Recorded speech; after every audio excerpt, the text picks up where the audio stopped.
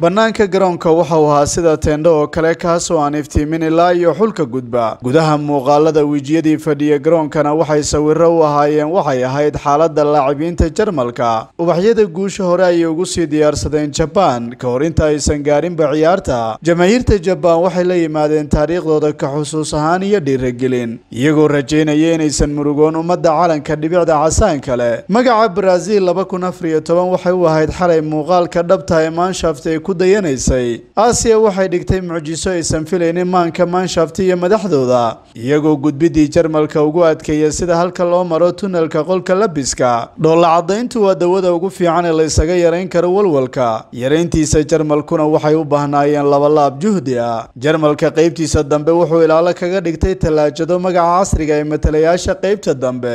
Geesta kale waxay sugayeen dhawaq dhagahooda u roon oo ka yimaada la rookha iyo in golol ay ku harqiyaan jilayaasha aasiya ee jabaan laakiin waxay ka war heleen inay indhayartu difaacyo ay ka qoteen afaafka hore ee madaxtooyada taabashada ka cagan ee sideed iyo tobanka. Kadib markii natiijada lagu rogay isbaanishka waxaa hogaaminaya rooxdii rodiger taasoo aan ka zuulin ducaysiga. Marka masraxyadan oo kale la yimaado grintada jabaan waxay kaga turjumaysay gudaha garoonka. Dhiig ayay u daadiyeen mararka qaarna difaacoodu waxau dhaafaya xadka kubadda. Murugada iyo filanwaaga cushaaqda jarmalku waxay kaga dhignayd luminta fursadaha oo fan u ahayd weeryahanadooda gaar ahaan kai haves iyo kuwa la midka. Waxay kaaga dhigan tahay adigoo soo jeeda inaad riyootid markaad rabtid weerarka sare inaad u qaadid moondiyaalka sida ay qabaan kuwa wax falanqeeya. Muller way ka muuqatay oonka ka hayay goolasha laakiin musayla kuma filnayn waraabinta muller. Oonka jamaahiirta jabaanna waxaa kafaala qaaday weeraryahanadooda. Cabirka guusha maaha baaska iyo kubadaysashada jabaan way kaga filnayd inay gaarto halka ugu sarraysa gruubkooda iyadoo kubadda haysatay toddobiyo toban boqolkiiba kulankii ugu dambeeyey halka baasaska ay sameeyeen isbaanishkuna afarlaab ay ka sarreeyeen kuwa ay sameeyeen jabaanku. Ugu dambayn kubaddu waxay ictiraaftay jabaan waana sunnada kubadda cagta waxay jabaaneeskuna leeyihiin. Way soo dhammaatay casrigii kubadda loogu dabafeeli jiray jarmalka iyo yurub. Maantu waxaanu baranaynaa afrika waxay samaynayso iyo weliba eshiya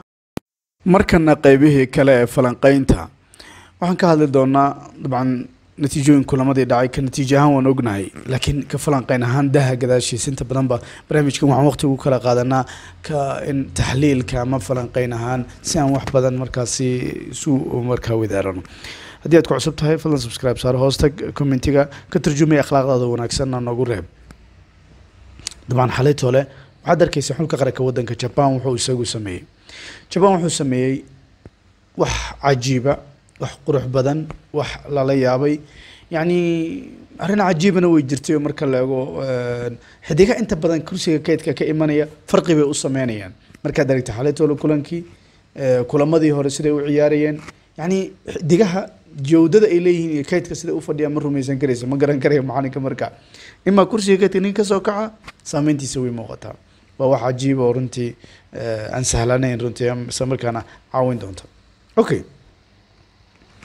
marka la eego umuurtaasi iyo weliba xulka qaranka wadanka jaban waxuu isagu sameeyey cagsigeeda spain. Spain dadka qaar waxay filayeen meel dheer inay gaari doonto. Anigu waan ka mid ahaa markaasi. Laakiin qaladaadka uu galayo goolhayaha mas'uuliyaddeeda waxaa qaadaya ninkii ahaa louis enrique. Unai simon xalatole ugu yaraan waa badbaadin lahaa. Golhayo kale haddii uu ku jiri lahaana waa badbaadin lahaa. Golhayo kale iska ahaada xitaa markaasi. Kiiba hadduu ku jiri lahaa xale waa badbaadin lahaa inta markaa. Maxaa yeeley simon mustawihiisa ma aha. Simon iyo dekhiya ayaa maanta fiican. Kama hadlayo xilyareed hore waa soo maray ninkii dekhiya oo liitay. Laakiin maanta dekhiya iyo isaga dekhiya fiican. Madegeya ayaa fiican maanta marka la joogo. Laakiin muxuu ku doortay enrique? In ka badan hal jeer waan ka hadalnay oo hore barnaamijyo badan oo aan falanqeynay waa inaa aragteen baan rajeynaya dekhiya hore baan u dhihi jiray manchester mar walba aan falanqeynayo. Ten hag uu ku dhibaatoonaya ninkan malaha markaasi markaa waxa ugu muhiimsan waa build gadaala oo ah lugtiisa inuu ku ciyaaro. Cagsiga ninka enrique uu isagu doontay unai waa waxa keliya uu ka dareyn lugta inuu ku ciyaaro. Cagsiga laakiin badbaadinada kale boodinta aragtida yani waxyaabahaas oo kalena waxaa ku fiican david dekhiya marka mas'uuliyadda wixii ka yimaada enrique baa xamilaya. De waa sax isagaa laga raba inuu markaasi alaqal ninka lugta baro. Waayo waa muhiim mar walba afkaarta aad ku ciyaaraysa adigu ninka dabaqi kara. Laakiin maaha hadda qaabkaas liidashadaas. Haddii aad rabto adi ninkan bilab inuu kuba markaa ku caawiyo okay center back baa ku caawin kara. Waayo marxaladda aad ku jirtid kuma siinaysa adiga bugbaxdaa la gaaraya maalin kasta laba gool lagaa dhaliyo ama saddex gool lagaa dhaliyo farqi ma kuu sameynayo. Yani hadda spain waxay ku badbaaday ku meel martay lixdii gool ay ka soo dhaliyeen iyo toddobadii gool ay ka soo dhaliyeen costa rica haddaysan ahayn waa shubi lahaayeen. Marka enrique mas'uuliyad toosa buu isagu qaadanayaa gesta kale ninkii ahaa feleg xaletol wuxuu isagu sheegay waqti xaadirka inaan laga hadli karin inuu sii joogi inuusan sii joogi doonin waxay ku xiran tahay sida maamulku xiriirka ay wada fariistaan isla markaana ay wada hadlaan. Laakiin aniga waxaan qabaa maamulka oo dhan ba inay iscasilaan xiriirka. Waayo xiriiro waxaa jira aan wax badan iyagu sameyn isla markaana qaribay marka xiriiradooda jarmalka xidigaha dhib bay u zaa-idiyeen mooyaane wax kaloo ma zaa-idin. Tani waa kubadda cagta. Mawducyada kale waa ay ka bannaan yihiin adiga yaa ku dirsaday dowlad kale waxay sameysay iyo shaqaale iyo bini aadinimadu waa wax fiican. Laakiin waxa ku hoos jiray waxyaaba aan akhlaaqda ku jirin iyo ayaa ka qeyb ahaa oo ka buuxay. Oo aan la qaadan karin oo aada u liitay markaasi.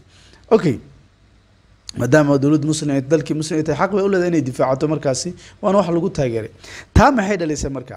Cadaadis. Xaaladtole garoonka dadkii fadhiyay markaad fiirisid waddamada islaamka iyo waddamada carab dad badan baa ka taageeri jiray jarmalka arrintan daraaddeed waxay keentay marka in cadaawadeeda ay badiso taageeranimada saameynta leedahay waan kuu sheegaya.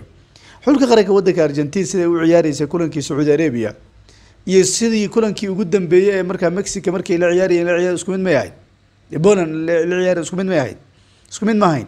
Sababtoo ah waddamada carab dadkii taageeraya dhanba dadkii shalatolo weynu messi lahaa ama weris messi lahaa hadda markii dambe waxay lahaayeen messi waa kana garoonkuu joogaa macnaha iyagaa taageeraya sacuudiyiinta ha noqdeen qadariyiinta ha noqdeen waddamada qaliil dadkii kale dunida ka tagayba marka taageernimada door weyn bay ka caawisay marka argentin waxayna ka mid tahay argentin ama ay tahay wadanka ugu badan ugu taageerada badan brazil marka la ego xitaa. Waayo messi iyo ronaldo saameyntoodu way muuqanaysaa mar walba. Haddaan u soo noqono xiriirka marka taa waxay keentay marka xiriirka waxay sameeyeen taageerayaashu inay ka soo horjeestaan. Okay duruufahaas iyadoo ay jiraan haddana mushkilad kale baa jirta. Mushkilada kale ee dhibaatada ee weyn ay jirta waxay tahay xulka qaranka wadanka jarmalka maskixiyan xidigaha saameyn bay ugu yeesheen godogan baa hadlay xidig kale baa hadlay midka muslimka baa hadlay yacni xidiguhu culays bay markaa keeneen. Waxay keeneen marka garoonka gudihiisu ma ahayn xulka ugu liita ka mid ahayn. Fiiri adiga x g giisa expect goaliska xalaytoole jarmalka five point bay gaareen. Shan dhibic baan ka hadlaynaa. Cagsiga hal ay lahaayeen markaasi costa rica ama zero point bay ahayn xataa yani mushkiladoodu ma ahayn mushkiladda xidigo ma ahayn. Mushkiladoodu waxay ahayd mushkilad maskixiyana ee banaanka garoonka iyo cadaadiska macalinka iyo xiriirka ay u keeneen gaar ahaan xiriirka markaasi. Waana ay ku ay ka cabeen koobkii ay wax ku shubteen. Marka waa kaa jarmalka iyo sheekadoodu marka inta baan uga gudbaynaa dabcan waxaan rabaa inaan diradda saarno louis suarez. Shalaytol waa hadlay. Wuxuu yihi gaan aniga cudurdaar markaa ma siinayo aniga wuxuu yihi casaan baa la siiyey. Erigo golkulaad baa laga dhigay waa iyagaa lumiyey maanaa lumiyey buu yihi okay. Laakiin caawa waxaan rajeynayaa louis suarez adoo ilmeynayna garoon ka baxay. Waan rajeynaynaa maxaa yeelay dadka madowga calaaqadiisu kuma fiicnay waad aragtay african waxaan rajeynaynaa ganesku iyagu ay aargutaan beel dheer gaaraan ay adkaadaan ay weliba badiyaan. Waxa ugu weyn aan rajeynayno markaas. Sababtoo ah louis suarez faylkiisa ama galkiisa markaad fiirisid qormooyin madow oo yani aan qurux badnayn oo ansha akhlaaq aan ahayn baa ka buuxa.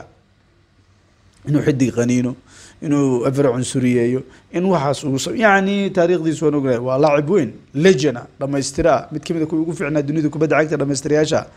Laakiin banaanka garoonka baan ka hadlaynaa marka.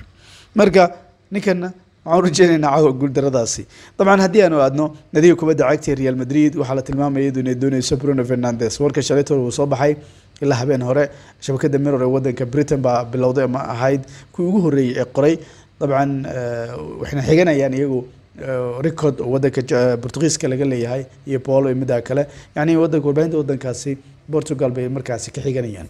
Dabcan inta badan wararka waqtiyadan oo kale soo baxa waxay ku soo beegmayaan waqti xasaasiya iyadoo suuqa uu furmayo. June xitaa ha ahaato marka ciyaaruhu way dhamaadaan iyo sanadkan oo ciyaaraha marka december ay dhamaato suuq hore uu ka furmayo. Istaraatiijiyadda real madrid wax cusub maaha. Xidigaha cadarada ka sameeya inay la soo wareegaan. Laakiin su'aashu waxay tahay ma united diyaar may u tahay waqti xaadirka inay dirto. Sidoo kale beres qiimaha united ay ku dalbato miyuu bixin doonaa sababtoo heshiiskiisu dhawaan buu heshiis saxiix aan filayaaba markay waqtibaa ka harsan taasoo caqabad kale ku noqon doonta nadiga kubadda cagta real madrid. Laakiin haddii real madrid uu cadar uu ka sameeyo ama superka koowaad isagu noqdo hubaal kama laba labayn doonto. Bellingham. Warbaahinta dalkaasi jarmalka waxay tilmaamaysaa liverpool inaysan ku markaasi inaysan si fudud ku qaadan doonin wiilka lagu magacaabo jude bellingham. Waxaa tusaale looga dhigay dhaqaalaha ay ku dooneyso naadigan weliba xitaa wacdarada wiilkan uu isagu sameynayo.